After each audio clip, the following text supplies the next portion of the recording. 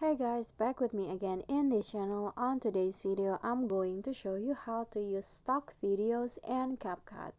So stock video is a video that is provided by CapCut and you can use it and I'm going to show you how. So first, I'm going to click on new project and then here is the albums and if you want to use stock videos, you can just click on this this one's right here. And these are the list of stock videos that you can use.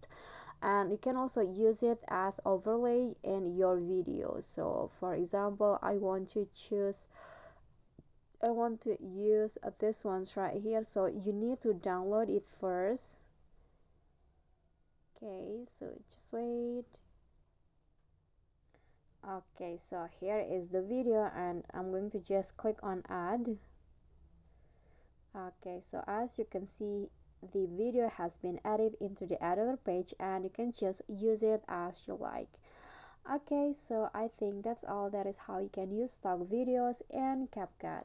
Thank you guys so much for watching. If you got any question feel free to drop it in a comment. And if you feel the video is useful don't forget to click like and subscribe for more contents. I'll catch you all in the next video. Thank you